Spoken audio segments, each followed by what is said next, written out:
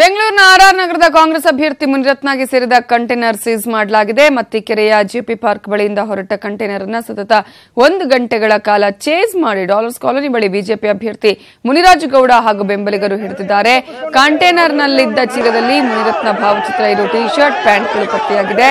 ಅಲ್ಲದೆ ಬಾಕ್ಸ್ಗಳಲ್ಲಿ ಹಣ, ಮದ್ಯ ಇರೋ ಶಂಕೆ ಕೂಡ ವ್ಯಕ್ತ ಆಗಿದೆ. ಚುನಾವಣಾಧಿಕಾರಿಗಳು ಸದಾಶಿವನಗರ ಹಾಗೂ ಕೇಂದ್ರ ವಿಭಾಗದ ಪೊಲೀಸರು ಪರಿಶೀಲನೆ ಮಾಡ್ತಿದ್ದಾರೆ. ಇನ್ನು ಇದೇ ವೇಳೆ ಕಂಟೈನರ್ ತಡೆದಿದ್ದಕ್ಕೆ ಬಿಜೆಪಿ ಹಾಗೂ ಕಾಂಗ್ರೆಸ್ ಕಾರ್ಯಕರ್ತರ ನಡುವೆ ಗಲಾಟೆ ಕೂಡ ನಡೆದಿದೆ. ಕಂಟೈನರ್ ಬಿಟ್ಟು ಡ್ರೈವರ್ ಪರಾರಿಯಾಗಿದ್ದಾನೆ. ಹಾಗೆಯೇ ಈ ಹಿಂದೆ ಮೈರತ್ನ ಕುಕ್ಕರ್ ಕೂಡ ಹಂಚಿದ್ರು ಇಂಥವ್ ನಾವು ನೂರು ಕೇಸ್ ಮಾಡಿದ್ವಿ ಅರ್ಥ ಆಯ್ತಾ? ಬಂದ ಎಲೆಕ್ಷನ್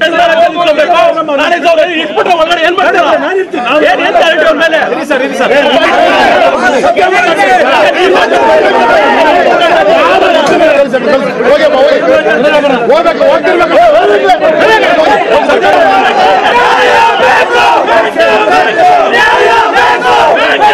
ಚೆಕ್ ಮಾಡುವ ಏನ್ ಕಾನ್ ಪಕ್ಕ ಕಮ್ಮ ತಗೊಂಡು ಹುಡುಗರು ಓಕೆ ಸರ್ ಮಾಡಿ ಸರ್ ದಯವಿಟ್ಟು.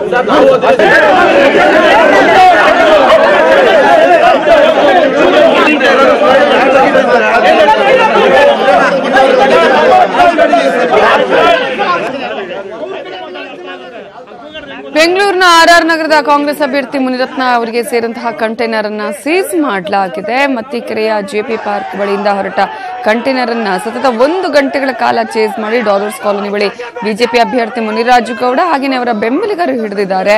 ಕಂಟೈನರ್ನ ಒಂದು ಚೀಲದಲ್ಲಿ ಸಾಕಷ್ಟು ಮುನಿರತ್ನ ಭಾವಚಿತ್ರ ಇರುವ ಟಿ ಶರ್ಟ್ಸ್ ಇತ್ತು ಪ್ಯಾಂಟ್ಸ್ ಇತ್ತು ಸೊ ಬಾಕ್ಸ್ಗಳಲ್ಲಿ ಹಣ ಮಧ್ಯ ಇರುವಂತಹ ಶಂಕೆ ಕೂಡ ವ್ಯಕ್ತವಾಗಿದೆ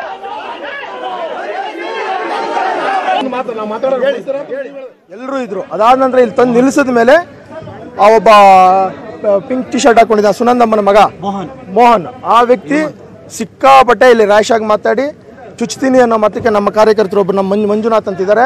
ಚುಚ್ಚಾಕ್ಬಿಡ್ತೀನಿ ಇಲ್ಲಿ ಏನಾದ್ರು ಹೋಗ್ಲಿಲ್ಲ ಅನ್ನೋಂಥ ಧಮಕಿಯನ್ನು ಹಾಕಿದ್ರು. ಅದು ಹೆಂಗ್ ಚುಚ್ತೀಯೋ ಚುಚ್ಚೋ ಅಂತ ಹೇಳಿದ ಮೇಲೆ ಆಮೇಲೆ ಪೊಲೀಸರನ್ನ ಕರ್ಸ್ಕೊಂಡು ಮಾಧ್ಯಮದವ್ರನ್ನ ಕರ್ಸ್ಕೊಂಡು ಸೀಸ್ ಮಾಡಿದ್ದೀವಿ ಅದಾದ ನಂತರ ಐನೂರು ಟಿ ಶರ್ಟ್ಗಳು ಮಾತ್ರ ಇದೆ ಅಂತಂದ್ರು. ಐನೂರು ಟಿ ಶರ್ಟ್ಗಳು ಕಂಟೈನರಲ್ಲಿ ತರಿಸ್ಬೇಕೇನಯ್ಯ ಅಂದರೆ ಇಲ್ಲ ಸಲ್ಲದ ಗಲಾಟೆಗಳನ್ನ ಮಾಡ್ತಾ ಇದ್ದಾರೆ ನನ್ನ ಮೇಲೆ ಆರೋಪ ಮಾಡ್ತಾ ಇದ್ದಾರೆ ನಮ್ಮ ಹುಡುಗನ ಹೊಡೆದ್ರು ಕ್ಯಾಂಡಿಡೇಟ್ ಆದಂತ ಹೊಡೆದ್ರು ಇಲ್ದ ಇಲ್ದ್ರಂದ್ರೆ ನನ್ನ ಬಗ್ಗೆ ಆರೋಪ ಮಾಡ್ತಾ ಇದ್ರು. ಸಾಕ್ಷಿಗಳಿದ್ರೆ ತೋರಿಸ್ಲಿ. ನನಗೆ ಲಾರಿಲಿ ನಮ್ಗೆ ಏನಿದೆ ಗೊತ್ತಿಲ್ಲ. ಎಲ್ಲ ಸಣ್ಣ ಸಣ್ಣ ಬಾಕ್ಸ್ಗಳಿದೆ. ಆ ಬಾಕ್ಸ್ ಒಂದು ಎತ್ತಕ್ಕೆ ಹೋದ್ರೆ ಸಿಕ್ಕಾಪಟ್ಟೆ ತೂಕ ಇದೆ. ಹಣನೇ ಸರಬರಾಜು ಹಣನೇ ತಗೊಂಬಂದಿರ್ಬೋದು. ಟಿ ಶರ್ಟ್ಗಳು ತಂದಿದ್ದಾರೆ. ಈಗ ಒಂದು ಟಿ ಶರ್ಟ್ ಅಂತೂ ಸಿಕ್ಕಿದೆ. ಇವಾಗ ಡೀಟೇಲ್ಸ್ ಕೊಡೋದಕ್ಕೆ ನಮ್ಮ ರಿಪೋರ್ಟರ್ ಕಿರಣ್ ಈಗ ಫೋನ್ ಸಂಪರ್ಕದಲ್ಲಿದ್ದಾರೆ. ಕಿರಣ್, ಈಗಾಗಲೇ ಬಿಜೆಪಿ ಕಾರ್ಯಕರ್ತರು ಹಾಗೆಯೇ ಬಿಜೆಪಿ ಅಭ್ಯರ್ಥಿ ಮುನಿರಾಜು ಗೌಡ ಸೇರಿದಂತೆ ಎಲ್ಲರೂ ಕೂಡ ಮುನ- ಮುನಿರತ್ನ ಅವರಿಗೆ ಸೇರಿದಂತಹ ಒಂದು ಕಂಟೈನರ್ನೇ ಈಗ ಅಲ್ಲಿ ವಶಪಡಿಸಿಕೊಳ್ಳುವಂತಹ ಪ್ರಯತ್ನ ಮಾಡಿದ್ದಾರೆ. ಹಾಗೆಯೇ ಅದರಲ್ಲಿ ಏನೇನಿತ್ತು? ಚುನಾವಣಾ ಅಧಿಕಾರಿಗಳು ಪರಿಶೀಲನೆ ಮಾಡ್ತಾ ಇದ್ದಾರಾ? ಹೇಗೆ?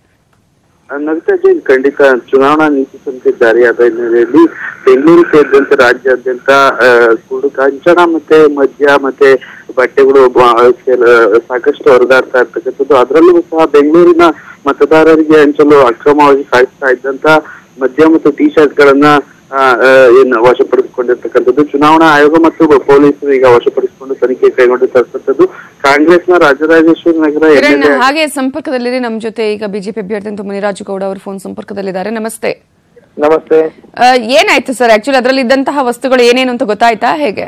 ಸರ್ ಮೇಡಮ್ ಅವರೇ ನೋಡಿ ರಾತ್ರಿ ಹತ್ತು ಕಾಲ ಸಮಯದಲ್ಲಿ ಮುನಿರತ್ನಂ ನಾಯ್ಡು ಅವರ ಜೆಪಿ ಪಾರ್ಕ್ ವಾರ್ಡ್ ಮುಂದೆ ಆ ವಾಹನದಲ್ಲಿ ಏನೋ ಇಳಿಸೋ ಅಂತ ಪ್ರಯತ್ನ ನಡೀತಾ ಇತ್ತು. ಅದಾದ ನಂತರ ನನಗೊಂದು ಮಾಹಿತಿ ಬಂದಿತ್ತು. ಇವತ್ತು ನಮ್ಮ ರಾಷ್ಟ್ರೀಯ ಅಧ್ಯಕ್ಷರು ಅಮಿತ್ ಶಾ ಅವರು ಯಶವಂತಪುರಕ್ಕೆ ಭೇಟಿ ಕೊಡೋರಿದ್ದು ಒಂದು ರೋಡ್ ಶೋ ಇತ್ತು. ಅಲ್ಲಿ ಇವರು ಮುನರತ್ನಂ ನಾಯ್ಡು ಕಡೆಯವರು ಮತ್ತೆ ಅವ್ನ ಚೇಲಾಗಳೆಲ್ಲ ಸೇರಿ ಇವತ್ತು ಗಲಾಟೆ ಮಾಡ್ಬೇಕು ದುಂಬಿ ಎಬ್ಬರಿಸ್ಬೇಕು ನಮ್ಮ ಕಾರ್ಯಕರ್ತರ ಮಧ್ಯದಲ್ಲಿ ಅವ್ರ ಕಾರ್ಯಕರ್ತರು ಸೇರ್ಕೊಂಡು ಮೇಲಿಂದ ಕಲ್ಗೊಳಿಸಬೇಕು. ಈ ಮುಖಾಂತರವಾಗಿ ನಮ್ಗೆ ಕಪ್ಪು ಮಸಿ ಬೆಳಿಬೇಕು ಅನ್ನೋಂತ ಒಂದು ಷಡ್ಯಂತ್ರ ಮಾಡ್ತಾ ಇದ್ದಾರೆ ಅಂತ ವಿಷಯ ಗೊತ್ತಿ ಗೊತ್ತಾಯ್ತು ನಮ್ಗೆ ನಮ್ಮ ಕಾರ್ಯಕರ್ತರ ಮುಖಾಂತರವಾಗಿ.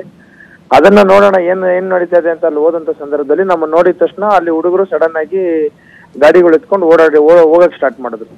ಏನೋ ಇದೆ ಗಾಡಿಲಿ ಏನೋ ಅಂತ ಕಂಟೈನರ್ ಕಂಟೈನರ್ ಫಾಲೋ ಮಾಡಿದ್ರೆ ಸುಮಾರು ಒಂದೂವರೆ ಗಂಟೆಗಳ ಕಾಲ ಅವನು Yeshwanthpur Mattikere J P park ಈ ರೀತಿನೇ ಸುಪ್ಸಿ ಸುಪ್ಸಿ ಕೊನೆಗೆ ಯಾವ್ದೋ ಒಂದು ಸಂದಿಲಿ ಗಾಡಿ- ಗಾಡಿನ ಅಡ್ಡ ಹಾಕಿ ನಿಲ್ಲಿಸ್ಬೇಕು ಅಂತ ಹೋದಂತ ಸಂದರ್ಭದಲ್ಲಿ ಸುಮಾರು ಒಂದ್ ಹತ್ತರಿಂದ ಹದಿನೈದು ಜನ ಯುವಕರು ಎಲ್ಲ ರೌಡಿ ರೌಡಿ ಎಲಿಮೆಂಟ್ ಇರುವಂತ ಯುವಕರು ಅದ್ರಲ್ಲಿ ಒಬ್ಬ ಒಬ್ಬ ಬಂದು ಒಬ್ಬ ಬಂದು ಡಿಫ್ರೆಂಟ್ ಕ್ಯಾಂಡಿಡೇಟ್ ಸುನಂದ ಅಂತ ಒಬ್ರಿದ್ದಾರೆ ಜೆ ಪಿ ಪಾರ್ಕ್ನ ಡಿಫ್ರೆಂಟ್ ಕ್ಯಾಂಡಿಡೇಟ್ ಸುನಂದ ಅಂತ.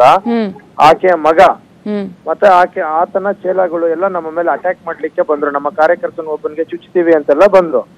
ಯಾವ್ದಕ್ಕೂ ಇದು ಅಂಜು ದಿನ ನಾವು ಅಲ್ಲಿ ನಮ್ಮ ಕಾರ್ಯಕರ್ತರು ಎಲ್ಲ ಸೇರ್ಕೊಂಡ್ರು. ಸುಮಾರು ಒಂದ್ ನೂರ್ ಜನ ಕಾರ್ಯಕರ್ತರು ಸೇರಿ ಗಲಾಟೆ ಮಾಡಿ ಬಂದ್ರೆ ಅಲ್ಲಿ ಒಬ್ಬ ಆ, ನಂತರ ನೋಡಿದಾಗ ಗಾಡಿ ಕಂಟೈನರ್ ತೆಗ್ಸಿದ್ರೆ ಅದರಲ್ಲಿ ಟಿ ಶರ್ಟ್ಸ್ಗಳಿತ್ತು ಸುಮಾರು ಒಂದ್ ಐದ್ ಸಾವಿರಕ್ಕಿಂತ ಹೇಳಿ ಹೇಳಿ. ಕಂಟೆ ಕಂಟೈನರ್ ಲೈವ್ ಅಲ್ಲಿ. ಕಂಟೈನರ್ ತುಂಬಾ ಟಿ ಶರ್ಟ್ಸ್ ಮತ್ತೆ ಬಾಕ್ಸಸ್ ಇತ್ತು. ಕೊನೆಗೆ ಬಾಕ್ಸ್ಗಳು ಬಿಚ್ಚಲೇ ಇಲ್ಲ ನಲವತ್ತು ಬಾಕ್ಸ್ಗಳು ಮಾತ್ರ ಬಿಚ್ಚಿದ್ರು. ಓಕೆ. ಆ, ಮತ್ತ್ ರಾತ್ರಿ ಎಲ್ಲ ಈಗ ಬೆಳಗಿನ ಜಾವ ಐದು ಗಂಟೆವರೆಗೂ ತೆಗೆದ್ರು ನಲವತ್ತು ಬಾಕ್ಸ್ ಅಷ್ಟೇ ಬಿಚ್ಚಲಿಕ್ಕಾಗಿತ್ತು ಓಕೆ ಓಕೆ. ಅಂದ್ರೆ ಅದ್ರ ಅಲ್ಲಿವರೆಗೂ ನೋಡಿದಷ್ಟು ಟಿ ಶರ್ಟ್ ಪ್ಯಾಂಟ್ಸ್ ಅಷ್ಟೇ ಸಿಕ್ಕಿರೋದು ಅಥವಾ ಬೇರೆ ಟಿ ಶರ್ಟ್ಸ್ ಪ್ಯಾಂಟ್ ಸಿಕ್ಕಿತು ಮತ್ತೆ ಇನ್ ಮಿಕ್ಕಿದ್ದೇನೋ ಬಾಕ್ಸ್ ಅಲ್ಲಿ ಇದೆ ಮೇಡಮ್. ಆದ್ರೆ ಅಲ್ಲಿ ಕೆಲವರು ಪೊಲೀಸರು ಸಹ ನಮ್ಗೆ ಸಹಕಾರ ಕೊಡ್ತಾ ಇರ್ಲಿಲ್ಲ. ಒಬ್ರು ಗಿರೀಶ್ ನಾಯ್ಡು ಅಂತ. ಆತ ಸಹ ಸಹಕಾರ ಕೊಡ್ತಾ ಇರ್ಲಿಲ್ಲ. ಈ ಎಲ್ಲಾ ನಾಯ್ಡುಗಳು ಸೇರ್ಕೊಂಡು ಇಲ್ಲಿ ಬೆಂಗಳೂರಲ್ಲಿ ಒಂದು ಷಡ್ಯಂತ್ರ ಮಾಡ್ಲಿಕ್ಕೆ ಕೊಟ್ಟಿದ್ದಾರೆ ಇಲಾಖೆಯಲ್ಲಿರುವಂತ ನಾಯ್ಡುಗಳು ಹೀಗೆ ಆಗ್ಬಿಟ್ಟಿದ್ದಾರೆ. ಇದೊಂದು ದೊಡ್ಡ ದುರ್ದೈವ ನಮಗೆ. ಅದೇ ಚುನಾವಣಾಧಿಕಾರಿಗಳ ಗಮನಕ್ಕೆ ಬಂದಿದೆಯಲ್ವಾ ಇದು ಈಗ? ಚುನಾವಣಾಧಿಕಾರಿಗಳಿಗೂ ಹೇಳಿದೀವಿ ಚುನಾವಣಾಧಿಕಾರಿಗಳಿಗೂ ಸಹ ಕಣ್ಣಿಗೆ ಮಣ್ಣೆರಚುವಂತ ಕೆಲಸವನ್ನ ಅಲ್ಲಿನ ಸ್ಟೇಷನ್ ಅಲ್ಲಿರುವಂತವ್ರು ಮಾಡ್ತಾ ಇದ್ರು. ಹ್ಮ್ ಹ್ಮ್ ಹ್ಮ್ ಹ್ಮ್ ಒಂದು ಪಾರದರ್ಶಕವಾದಂತ ವ್ಯವಸ್ಥೆ ಇಲ್ಲ ಅಲ್ಲಿ. ಆ, ಎಲ್ಲದ್ರಲ್ಲೂ ದಬ್ಬಾಳಿಕೆ ಮಾಡುವಂತದ್ದು ನಮ್ಮ ಕಾರ್ಯಕರ್ತರಿಗೆ ಧಮಕಿ ಹಾಕುವಂತದ್ದು ಅಲ್ಲೇ ನಮ್ಮ ಕಾರ್ಯಕರ್ತನಿಗೊಬ್ಬನಿಗೆ ಚುಚ್ತೀವಿ. ಚುನಾವಣೆ ಆಗ್ಲಿ ನಾನು ನಿಮ್ಗೆ ಚುಚ್ತೀನಿ ಅಂತ ಅವನು ಸುನಂದ ಅನ್ನುವಂತ ಒಬ್ಬ ಅವ್ರ ಮಗ. ಹ್ಮ್. ಆತನ ಹೆಸರು ಹೊಂದಿದೆ ಆತನ ಈ ರೀತಿಯಾದಂತ ಮಾತುಗಳು ಬರ್ತಾ ಇದೆ. ಹ್ಮ್. ಆದ್ರೂ ಈ ಮೀರಿ ಇನ್ನು ಕೌಂಟ್ ನಡೀತಾನೆ ಇದೆ ಮೇಡಮ್ ರಾತ್ರಿಯಿಂದ ಬೆಳಗಿನ ಜಾವದವರೆಗೂ ಕೌಂಟ್ ನಡೆದಿದೆ. ಇದ್ರ ಮಧ್ಯದಲ್ಲಿ ಇನ್ನೊಂದಾಗಿದೆ. ನಾವೊಬ್ಬ ಅವರ ಆ ವಾಹನದಲ್ಲಿದ್ದಂತಹ ಅವನ ಚೇಲ ಒಬ್ಬನ್ನ ಹಿಡ್ಕೊಟ್ಟಿದ್ವಿ. ಆ ಚೇಲವನ್ನ ಬೆಳಗಿನ ಜಾವ ಎರಡು ಗಂಟೆಗೆ ಬಿಟ್ಬಿಟ್ರು. ಅವನಿಗೆ ಇದಾಗಿದೆ ಅಂದ್ಬಿಟ್ಟು ಹಾಸ್ಪಿಟ್ಲ್ ಕರ್ಕೊಂಡು ಹೋಗ್ತಾ ಇದೀವಿ ಅಂತ. ಹಾಸ್ಪಿಟ್ಲ್ಗೆ ಹೋಗುವಂತ ಸಂದರ್ಭದಲ್ಲಿ ಯಾವ್ದೇ ಪೊಲೀಸರು ಜೊತೆಲಿಲ್ಲ ಆಂಬ್ಯುಲೆನ್ಸ್ ಜೊತೆಲಿಲ್ಲ.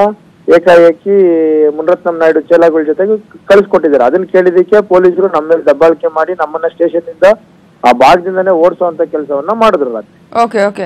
ಇದ್ರ ಬಗ್ಗೆ ಏನಾದ್ರೂ ಕಂಪ್ಲೇಂಟ್ ಮಾಡೋರು ಇದೀರಾ ಮುಂದೆ ಆ ಮೇಲಿನ ಅಧಿಕಾರಿಗಳಿಗೆ ಆಗಿರ್ಬೋದು ಅಥವಾ ಚುನಾವಣಾ ಅಧಿಕಾರಿಗಳಿಗೆ ನಾವು ಕಂಪ್ಲೇಂಟ್ ಕೊಡಕ್ ಹೋಗಿದ್ದಕ್ಕೆ ಪೊಲೀಸರು ತಗೊಳ್ಳಿಲ್ಲ. ಅದಕ್ಕೆ ಮೇಲ್ ಮಾಡಿದೀವಿ ಕಮಿಷನರ್ಗೆ ಮೇಲ್ ಮಾಡಿದೀವಿ ಮತ್ತೆ ಅಲ್ಲಿ ನಡೆದಂತ ಎಲ್ಲಾ ವಿಚಾರಗಳನ್ನ ವಿಡಿಯೋ ರೆಕಾರ್ಡ್ ಮಾಡ್ಕೊಂಡಿದೀವಿ ಅದನ್ನ ಟ್ವಿಟರ್ ಅಲ್ಲೂ ಹಾಕಿದೀವಿ ಎಲೆಕ್ಷನ್ ಕಮಿಷನರ್ಗೂ ಸಹ ಅದನ್ನ ಒಂದು ಕಂಪ್ಲೇಂಟ್ ಟ್ವೀಟ್ ಮಾಡಿದೀವಿ madam okay okay thank you Muniraj Gowda ಅವರೇ. ನ್ಯೂಸ್ ಏಟಿನ್ ಜೊತೆ ಮಾತನಾಡಿದಕ್ಕಾಗಿ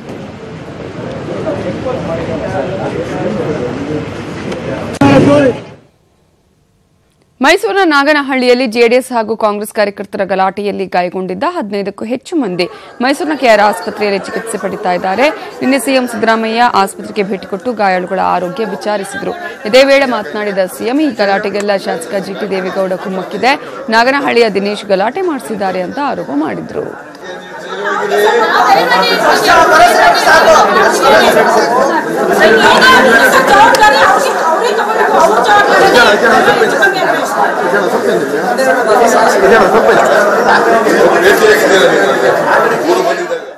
ಅದಕ್ಕೆ ಎನ್ಕರೇಜ್ ಮಾಡಬಾರ್ದು. ಜಿ ಟಿ ದೇವೇಗೌಡ ಇದಕ್ಕೆಲ್ಲ ಎನ್ಕರೇಜ್ ಮಾಡಿದ್ರೆ ಅವ್ರು ಈ has to pace the music ಅದೇ ಅದು ಅವರಿಗೆ ಸೋತ್ ಬಿಡ್ತೀವಿ ಅಂತ ಭಯ ಆಗ್ಬಿಟ್ಟದೆ. ಸೋಲನ ಭೀತಿಯಿಂದ ಹಿಂಗೆಲ್ಲ ಮಾಡ್ತಾ ಇದ್ದಾರೆ. ಅಲ್ಲಿ ನಾಗನಹಳ್ಳಿನಲ್ಲಿ ಒಬ್ರು ಜಿಲ್ಲಾ ಪಂಚಾಯತಿ ಮೆಂಬರ್ ಇದ್ದಾರೆ. ಒಬ್ಬ ಗ್ರಾಮ ಪಂಚಾಯತಿ ಮೆಂಬರ್ ಇದ್ದಾರೆ. ಅವರು ಇದನ್ನೆಲ್ಲ ಮಾಡಿಸ್ತಾ ಇರೋದು ಮಾಡಿಸಿರೋದು ಇದಕ್ಕೆ ಕುಮ್ಮಕ್ಕು, ಎಂ ಎಲ್ ಎ ಕುಮ್ಮಕ್ಕಿದೆ. ದಿಸ್ ಇಸ್ ಇದನ್ನ ನಾನು ತೀವ್ರವಾಗಿ ಖಂಡಿಸ್ತೀನಿ. ಮತ್ತೆ ಯಾರು ತಪ್ಪು ಬಿಜೆಪಿ ಕಾರ್ಯಕರ್ತರ ಮೇಲೆ ಹಲ್ಲೆ ಮಾಡಿರುವ ಘಟನೆ ಬೆಂಗಳೂರು ಹೊರವಲಯದ ಬ್ಯಾಡ್ರಹಳ್ಳಿ ಪೊಲೀಸ್ ಠಾಣಾ ವ್ಯಾಪ್ತಿಯ ಮುದ್ದನಪಾಳ್ಯದಲ್ಲಿ ನಡೆದಿದೆ. ಬಿಜೆಪಿ ಕಾರ್ಯಕರ್ತ ರಾಘವೇಂದ್ರ ಅನ್ನುವರ ಮೇಲೆ ದುಷ್ಕರ್ಮಿಗಳು ನಿನ್ನೆ ರಾತ್ರಿ ಮನೆಗೆ ತೆರಳುವಾಗ ಬೈಕಲ್ಲಿ ಬಂದು ಅಡ್ಡ ಹಾಕಿ ಕಾರಿನ ಮೇಲೆ ಲಾಂಗು ಮಚ್ಚಿನಿಂದ ಅಟ್ಯಾಕ್ ಮಾಡಿ ಎಸ್ಕೇಪ್ ಆಗಿದ್ದಾರೆ. ಬೈಕಲ್ಲಿ ಏಳು ಜನ ದುಷ್ಕರ್ಮಿಗಳು ಬಂದಿದ್ರು ಅಂತ ಹೇಳಲಾಗ್ತಿದೆ. ಶಾಸಕ ಪ್ರಿಯಾಕೃಷ್ಣ ಬೆಂಬಲಿಗರಾಗಿದ್ದ ರಾಘವೇಂದ್ರ ಇತ್ತೀಚೆಗೆ ಕಾಂಗ್ರೆಸ್ ಬಿಟ್ಟು ಬಿಜೆಪಿ ಸೇರಿದ್ರು. ಈ ಕಾರಣಕ್ಕೆ ಪ್ರಿಯಾಕೃಷ್ಣ ಬೆಂಬಲಿಗರು ಹಲ್ಲೆ ಮಾಡಿದ್ದಾರೆ ಅಂತ ರಾಘವೇಂದ್ರ ದೂರು ಕೊಟ್ಟಿದ್ದಾರೆ. ಗ್ರಾಮ ವಾಸ್ತವ್ಯಕ್ಕೆ ಅಡ್ಡಿಪಡಿಸಲು ಬಂದ ಅಧಿಕಾರಿಗಳಿಗೆ ಗ್ರಾಮಸ್ಥರೇ ತರಾಟೆಗೆ ತೆಗೆದುಕೊಂಡ ಘಟನೆ ಗದಗ ಜಿಲ್ಲೆಯ ಕುರ್ತಕೋಟೆಯಲ್ಲಿ ನಡೆದಿದೆ.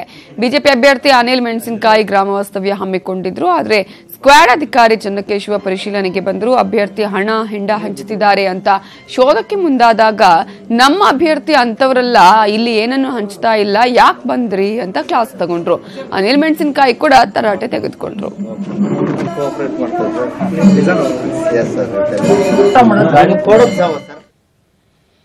ಬಿಜೆಪಿ ಕಾರ್ಯಕರ್ತನ ಮೇಲೆ ಕಾಂಗ್ರೆಸ್ ಕಾರ್ಯಕರ್ತರು ಹಲ್ಲೆ ನಡೆಸಿದ ಆರೋಪ ಕೇಳಿಬಂದಿದೆ. ಹಾವೇರಿ ತಾಲೂಕಿನ ಅಗಡಿ ಗ್ರಾಮದಲ್ಲಿ ಬಿಜೆಪಿ ಕಾರ್ಯಕರ್ತ ಕೊಟ್ರೇಶ್ ಹೊಂಬಳ ಹಾಗೂ ಅವರ ತಂದೆ ತಾಯಿ ಮೇಲೆ ಹಲ್ಲೆ ನಡೆಸಿದ್ದಾರೆ ಅಂತ ಆರೋಪ ಮಾಡಲಾಗಿದೆ.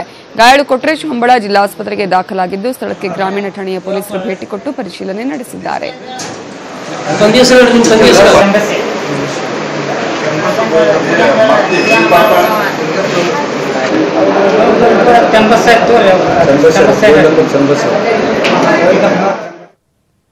ಗ್ರಾಮೀಣಾಭಿವೃದ್ಧಿಗೆ ಮೋದಿ ಹತ್ತು ಲಕ್ಷ ಕೊಟ್ಟಿದ್ದಾರೆ. ಇದ್ಲಿಂದ್ರೆ ರಾಜ್ಯ ಸರ್ಕಾರಗಳು ರೈತರ ಸಾಲ ಮನ್ನಾ ಮಾಡ್ತಿವೆ.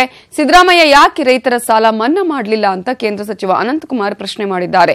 ನ್ಯೂಸ್ ಏಟಿನ್ ಕನ್ನಡದ ವಿಶೇಷ ಸಂದರ್ಶನದಲ್ಲಿ ಅವರು ಮಾತಾಡಿದ್ದಾರೆ. ಸಾಮಾನ್ಯವಾಗಿ ಒಕ್ಕೂಟದ ಪದ್ಧತಿಯಲ್ಲಿ ಇರುವಂಥ ವ್ಯವಸ್ಥೆ ಅಂತಂದ್ರೆ ಭಾರತ ಸರ್ಕಾರ ಗ್ರಾಮೀಣ ಸಾಲ ಸೌಲಭ್ಯದ ಸಲುವಾಗಿ ರೂರಲ್ ಕ್ರೆಡಿಟ್ ಸಲುವಾಗಿ ತನ್ನ ಮುಂಗಡ ಪತ್ರದಲ್ಲಿ ಒಂದು ಮೊತ್ತವನ್ನು ಒದಗಿಸುತ್ತೆ. ಸಾಮಾನ್ಯವಾಗಿ ಇದು ಆರು ಲಕ್ಷ ಕೋಟಿ ರೂಪಾಯಿ, ಏಳು ಲಕ್ಷ ಕೋಟಿ ರೂಪಾಯಿ ಇರ್ತಾ ಇತ್ತು. ಹೋದ ವರ್ಷ ನರೇಂದ್ರ ಮೋದಿ ಅವರು ಅದನ್ನು ಎಂಟು ಲಕ್ಷ ಕೋಟಿ ಮಾಡಿದ್ರು. ಈ ವರ್ಷ ಹತ್ತು ಲಕ್ಷ ಕೋಟಿ ರೂಪಾಯಿಗಳನ್ನು ಮಾಡಿದ್ದಾರೆ. ಅದರ ಮುಖಾಂತರವೇ ಬೇರೆ ಬೇರೆ ರಾಜ್ಯಗಳು ಈ ಸಾಲ ಮನ್ನಾ ಯೋಜನೆಯನ್ನು ಕೂಡ ಜಾರಿಗೆ ತಂದಿದೆ. ಜಾರಿಗೆ ತರಬೇಕಾದ್ರೆ ಕೇವಲ ರಾಜ್ಯ ಸರ್ಕಾರದ, ರಾಜ್ಯದ ಸಹಕಾರಿ ಸಂಸ್ಥೆಗಳ ಸಾಲ ಸೌಲ ಸಾಲ ಮನ್ನಾ ಮಾತ್ರ ಮಾಡಿಲ್ಲ. ರಾಷ್ಟ್ರೀಕೃತ ಬ್ಯಾಂಕ್ಗಳದ್ದು ಸಾಲ ಸೌಲಭ್ಯವನ್ನು, ಸಾಲವನ್ನು ಮನ್ನಾ ಮಾಡುವಂಥ ವ್ಯವಸ್ಥೆಯನ್ನು ಜಾರಿಗೆ ತಂದಿದೆ. ಯಾಕೆ ಸಿದ್ದರಾಮಯ್ಯನವರು ಹಾಗೆ ಮಾಡಿಲ್ವೋ ನನಗೆ ಗೊತ್ತಿಲ್ಲ. ಆದರೆ ಈಗ ಯಡಿಯೂರಪ್ಪನವ್ರ ನೇತೃತ್ವದಲ್ಲಿ ನಾವು ಸ್ಪಷ್ಟ ಭರವಸೆಯನ್ನು ಕೊಟ್ಟಿದ್ದೇವೆ. ಸರ್ಕಾರ ಬಂದ ತಕ್ಷಣವೇ ನಾವು ಮೊದಲನೇ ನಿರ್ಣಯ ರೈತರ ರಾಷ್ಟ್ರೀಕೃತ ಬ್ಯಾಂಕ್ಗಳ ಸಾಲವನ್ನು ಮನ್ನಾ ಮಾಡುವಂಥ ನಿರ್ಧಾರವನ್ನು ಕೈಗೊಳ್ಳುತ್ತೇವೆ. ಚಿಕ್ಕಮಗಳೂರು ಜಿಲ್ಲೆಯ ಮೂಡಿಗೆರೆ ಕ್ಷೇತ್ರದ ಕಾಂಗ್ರೆಸ್ ಅಭ್ಯರ್ಥಿ ಮೋಟಮ್ಮ ವಿರುದ್ಧ ಸಾಮಾಜಿಕ ಜಾಲತಾಣದಲ್ಲಿ ಅವಹೇಳನಕಾರಿ ಸಂದೇಶ ರವಾನಿಸಲಾಗಿದೆ. ಹೃದಯಾಘಾತದಿಂದ ಮೋಟಮ್ಮ ಮೃತಪಟ್ಟಿದ್ದಾರೆ ಅನ್ನುವ ಸುಳ್ಳು ಮಾಹಿತಿಯನ್ನು ಫೇಸ್ಬುಕ್ ಅಲ್ಲಿ ಪೋಸ್ಟ್ ಮಾಡಲಾಗಿದೆ. ಹೀಗಾಗಿ ಸುಳ್ಳು ಮಾಹಿತಿ ಪೋಸ್ಟ್ ಮಾಡಿದ್ದ ವೀರೇಂದ್ರ ಭಗತ್ ಅನ್ನುವರ ವಿರುದ್ಧ ಮೂಡಿಗೆರೆ ತಾಲೂಕು ಕಾಂಗ್ರೆಸ್ ಅಧ್ಯಕ್ಷ ಅನಂತ್ ದೂರು ಕೊಟ್ಟಿದ್ದಾರೆ.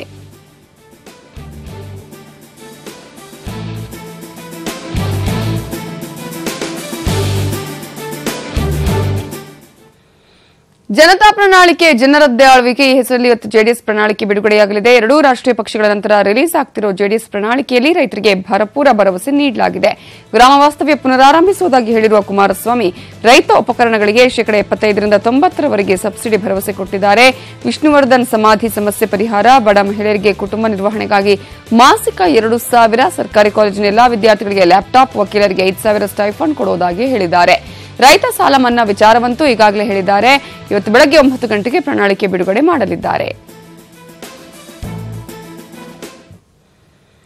ಮಾರ್ಚ್ ಇಪ್ಪತ್ಮೂರರಂದು ನಡೆದಿದ್ದ ಎಸ್ಎಸ್ಎಲ್ಸಿ ಪರೀಕ್ಷಾ ಫಲಿತಾಂಶ ಇವತ್ತು ಪ್ರಕಟವಾಗಲಿದೆ. ಈ ಬಾರಿ ಎಂಟು ಲಕ್ಷದ ಐವತ್ನಾಲ್ಕು ಸಾವಿರದ ನಾಲ್ನೂರ ಇಪ್ಪತ್ನಾಲ್ಕು ವಿದ್ಯಾರ್ಥಿಗಳು ಪರೀಕ್ಷೆ ಬರೆದಿದ್ದು ಇವತ್ತು ಅವರ ಭವಿಷ್ಯ ನಿರ್ಧಾರವಾಗಲಿದೆ. ಪ್ರೌಢಶಿಕ್ಷಣ ಮಂಡಳಿಯ ವೆಬ್ಸೈಟ್ ಅಲ್ಲಿ ಮಧ್ಯಾಹ್ನ ಒಂದು ಗಂಟೆಗೆ ಫಲಿತಾಂಶ ಪ್ರಕಟವಾಗಲಿದೆ. ನಾಳೆ ರಾಜ್ಯದ ಎಲ್ಲಾ ಪ್ರೌಢಶಾಲೆಗಳಲ್ಲಿ ಪ್ರಕಟವಾಗಲಿದೆ. ಪ್ರೌಢಶಿಕ್ಷಣ ಮಂಡಳಿಯ SSLC dot kar dot nic dot in ಹಾಗೂ kar results dot nic dot in website ಅಲ್ಲಿ ಫಲಿತಾಂಶ ಪ್ರಕಟವಾಗಲಿದೆ.